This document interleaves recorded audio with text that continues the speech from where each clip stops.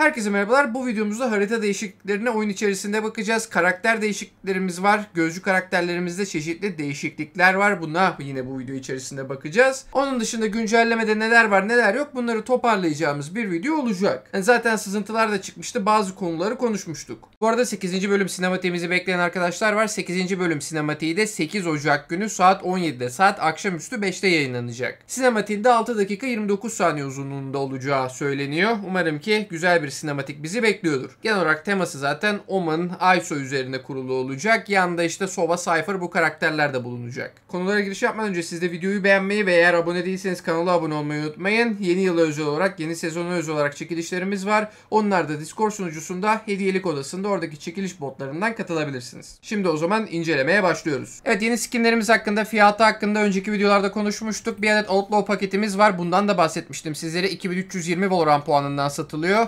Ee, bunu alacağım. Bunların hani e, default renklerini, ana renklerini de poligonda inceleyeceğiz. Aynı zamanda bu 2320 VP'ye satılan koleksiyonda bir adet sprey, oyuncu kartı, ünvan ve silah uğuru bulunuyor. Hani tahminimce işte hani çok aca acayip animasyonlar olmasın, silahın görüntüsüne, sesine alışılsın diye ilk olarak animasyonsuz skinler getirdiler. İlerleyen zamanlarda farklı seslerle, farklı görünüşlerle yeni yeni Outlaw skinleri göreceğiz. Bildiğiniz gibi yani Valorant resmen böyle darphane gibi Riot Games Valorant konusunda skin basmaya devam edecek. Bu arada hani Outlaw'ı skin almak istiyorsanız koleksiyon gerçekten hesaplı çünkü koleksiyonun fiyatı 2320 VP fakat silahın örneğin Ego Outlaw'un tekli fiyatı 1775, Prisma Outlaw'un tekli fiyatı da 1275 VP. Bu arada güvenilir ve hızlı bir şekilde Valorant puanı almak istiyorsanız hem bu yeni koleksiyonlar geliyor hem yeni savaş bileti geliyor. Class Game'den alışveriş yapabilirsiniz. Class Game linki hem açıklama kısmında hem de sabitlediğim yorumda. Evet ilk olarak savaş bileti bıçağımız da elimizde. Keşke daha farklı şekilde tutsaydı ama klasik balta, kılıç tarzında bir savaş biletimiz var.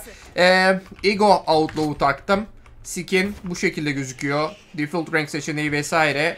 Bu şekilde sesinde zaten biliyorsunuz Ego'nun herhangi bir farklılık yok. Şöyle reload'una vesaire de bakalım. Bu arada silah konusunda hani unutulan veya a, ne denir atlanılan bir detay olabilir. Silahta tek bir mermi sıktığınız zaman normal olarak mantık olarak silah daha hızlı reload atıyor.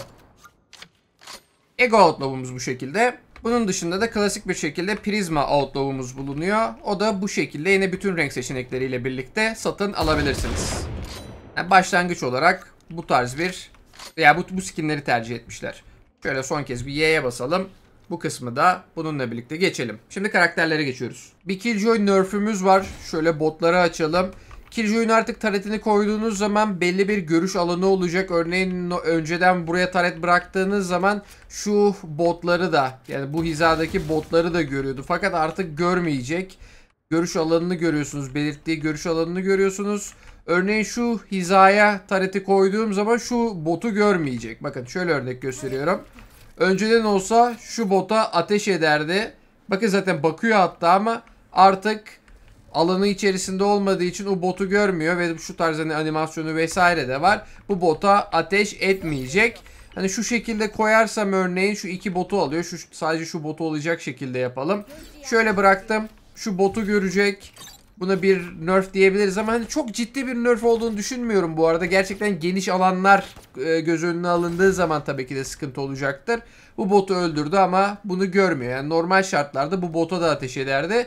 Hatta bu bota bile ateş edebilirdi. Genel olarak durum bu şekilde. Ama örneğin şu alanı içerisine aldığı zaman buradaki bütün botlara ateş edecek. Yani sadece böyle çok e, ne denir çok geniş bir görüş alanına sahip olmayacak. O şekilde düşünebilirsiniz. Bu tarzda da bir Killjoy nerf'ümüz bulunuyor. Yine klasik bir şekilde şöyle gösterebilirim örneğin. Normalde şu botu da görürdü. Bu botu görmeyecek. Bu botu ateş edecek. Kırdığımız zaman alanı içerisinde olmadığı için bu bota ateş etmeyecek. Durum bu şekilde. Killjoy sonrası Deadlock'ta bir buff'ımız var. Deadlock'un tuzak yeteneği, sonik sensör yeteneği artık tıpkı Cypher Trap'i gibi round ortasında toplanılabilir ve tekrar kullanılabilir olacak. Yani atıyorum A'ya kurulduğunuz site değiştireceksiniz. A'daki setup'ınızı toparlayıp B'ye gidebileceksiniz. Cypher gibi işleyecek. Bu şekilde düşünebilirsiniz. Şimdi kısaca harita değişikliklerimize bakalım. İlk olarak Lotus'ta turlayalım. Hani ayrıntılı bir şekilde tabii ki de gösterecek bir şey yok. Fotoğraflar üzerine de konuşmuştuk ama ilk olarak B site içerisinde bu tarz bir e, açıklığımız, genişliğimiz bulunuyor. Gene başladık bu, bu, bu değişiklikler için kelime bulmaya. Bu tarz bir değişikliğimiz var. Yine Spike'ın kurulabildiği alan buralara vesaire Spike yerleştiremiyoruz ama hani yine bu alanlar içerisinde vesaire Spike yerleştirebileceğiz. Hatta şöyle yapalım. Taraf değiştirdim. Spike'ı aldım. Hani bu noktalara Spike yerleştiremiyorum ama buraya Spike kurabiliyorum. Bu açıdan güzel olmuş. Bu tarz bir değişikliğimiz var. Onun dışında B dışında önemli bir değişiklik. Buradaki orb kaldırıldı. Yani Lotus'ta artık 3 tane değil 2 tane orb olacak. Buradaki orbumuz da kaldırıldı. B site içerisindeki değişiklik bu şekilde. Yine bu e, taş kapı tarafına geldiğimiz zaman da geçit bölümünde bu tarz bir genişlik verilmiş. Burası daha ferah bir hale gelmiş. Bu tarz bir değişikliğimiz var. Şöyle outlaw'umuzu ile kırdığımız zaman yine geçit tarafının öteki tarafını da görüyoruz. Burada da bu tarz bir değişikliğimiz bulunuyor. Yani buradaki yön değiştirilmiş birazcık daha böyle çapraz şekildeyken daha pusulabilir, daha saklanılabilir bir hale gelmiş.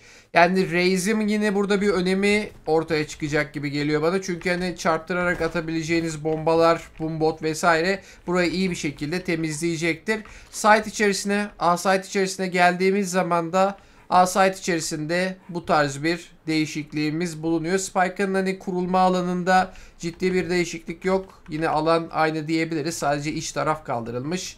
Ve bu tarz bir değişikliğimiz var. Şimdi de C'ye gidelim. Evet C site'da da ciddi değişiklikler var. Benim en beğendiğim değişiklikler yine burada. Burası gerçekten çok geniş bir alan haline geliyor. Bu tarz bir değişikliğimiz bulunuyor. Yine buraya geldiğimiz zaman buraya geçiş alanı değiştirilmiş. Aynı zamanda artık buralara da spike yerleştirebiliyoruz. Bu da bence ciddi bir değişiklik. Hani ne tarz şeyler olabilir? Mutlaka çılgın line-up'lar bulunacaktır. Hani bu tarz bir değişikliğimiz var. Aksi şekilde de artık buralara hani spike yerleştiremiyoruz. Örneğin spike kuruyordunuz ve bu tarafa e, açık kurduğunuz zaman şuradan bile şu alandan bile oyun sergilenebiliyordu. Artık bu durum pek yok. Yani buralara vesaire spike yerleştirilmiyor. Burada bir kutu değişikliği var falan. Yani C site'deki değişiklik de bu şekilde. Hani onun dışında diğer orblarda bir değişiklik yok. Sadece B önündeki orb kaldırılmış. Lotus değişikliklerimiz bu şekilde. Ben en çok C'dekileri beğendim. Siz en çok hangisini beğendiniz? Yorumlarda yazarsınız artık. Şimdi de Icebox'a kısa bir tur atalım. A tarafında herhangi bir değişiklik yok. Açıkçası ben A tarafında ciddi değişiklikler beklerdim. Onun dışında buraya bir pencere açılmış ve kutu eklenmiş. Bu tarz bir değişikliğimiz var. Kutu var. Burada gene hani mutfak alanı içerisinde ciddi bir değişiklik yok. Buraya bu tarz bir pencere açılmış ve kutu eklenmiş. Onun dışında buradaki alt taraf daha genişletilmiş. Şu bölmeden anlayabiliriz bunu. Ve farklı olarak buraya bir işte ne denir ekstra konteyner eklenmiş. Artık yani önceden örneğin şuradan baktığınız zaman şu noktayı görebiliyordunuz. Bu tarz bir şey olmayacak. Yani bu konteynerin eklenmesi buna sebebiyet veriyor. Onun dışında farklı bir değişiklik olarak tabii ki de burası çok ciddi bir değişiklik. Yani buradaki bütün alanı görebiliyordunuz kardan adamın ön tarafını. Artık bu tarz bir durumumuz yok. Bütün çatışma tek bir koridor indirgeniyor. Bu tarz bir değişikliğimiz var. Yine şuradan diğer taraftan bu şekilde görebilirsiniz. Hani buralarda vesaire hiçbir değişiklik yok tabii ki de. Bunları yine fotoğraflar fotoğraflar üzerinden konuşmuştuk. Kaydı da biraz geç alıyorum o yüzden hani siz bu muhtemelen neredeyse bir gün sonra izleyeceksiniz bu videoyu. Onun dışında hücre tarafında yani B long da diyebiliriz artık yeşil tarafı vesaire artık hani sol taraftaki harita üstündeki e, call bakarak da konuşuyorum biraz. Orada da bu tarz bir de değişiklik var. Örneğin işte Race seçili olsun, Omen TPS olsun, Jet Updraft olsun vesaire. Bu tarz konteynerin üstüne çıkıp oradan kesebiliyorduk. Hani bunu tamamen kaldırmışlar. Böyle güzel hani vinçle de kaldırmışlar. Böyle kendilerince bir hikaye de katmışlar. O yönü de güzel olmuş ama bu yukarıdaki savaşı yani yukarıdaki fight'ı tamamen kaldırmışlar. Bu arada Viper Volu atıyordu buraya vesaire. Viper Volu artı Outlaw olarak bence güzel bir combo olacaktır burası da. Yani Viper için de bence güzel bir Viper için hatta baya bir sağlam bir silah olacak bence Outlaw. Onu da söyleyebilirim. Yani A tarafında herhangi bir değişiklik yok demiştim. Ben A tarafında da değişiklikler beklerdim açıkçası herhalde önceki Icebox değişiklerinde A'yı da değiştirdiler diye mi bir şey getirmek istemediler bilmiyorum. Yani A tarafımız aynı. Icebox da bu şekilde yani fotoğraflar üzerine zaten iki haritayı da konuşmuştuk. Böyle kısaca harita içerisinden de size göstereyim dedim.